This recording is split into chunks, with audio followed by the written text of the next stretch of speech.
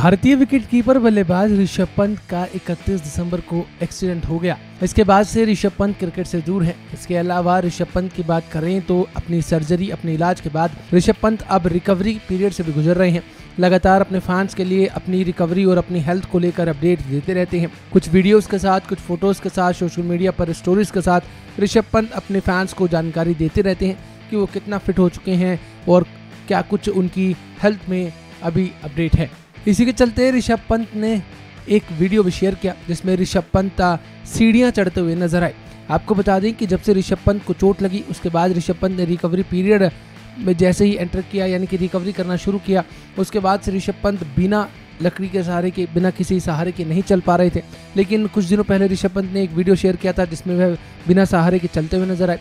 लेकिन हाल ही में ऋषभ पंत ने एक और वीडियो शेयर किया, जिसमें वह सीढ़ियाँ चढ़ते हुए नज़र आए और इस दौरान ऋषभ पंत ने कोई सहारा भी नहीं लिया और वह सीढ़ियाँ चढ़ते हुए अपने फैंस के लिए अपनी हेल्थ की अपडेट देते हुए नज़र आए। साथ ही उन्होंने लिखा कि, बहुत बढ़िया ऋषभ, ये कुछ आसान चीज़ें होती हैं जो कई बार मुश्किल नज़र आती हैं। बस इसी के बाद उनका ये वीडियो सोशल मीडिया पर वायरल हो गया। फैंस को काफ़ी खुशी हुई कि ऋषभ पंत रिकवर कर रहे हैं। सीढ़ियाँ चढ़ना शुरू कर दिया है। इसके अलावा ऋषभ पंत ने एक स्टोरी को भी साझा किया जिसमें वह एक्सरसाइज भी करते हुए नज़र आए, जिसका वीडियो भी सोशल मीडिया पर काफ़ी वायरल हुआ।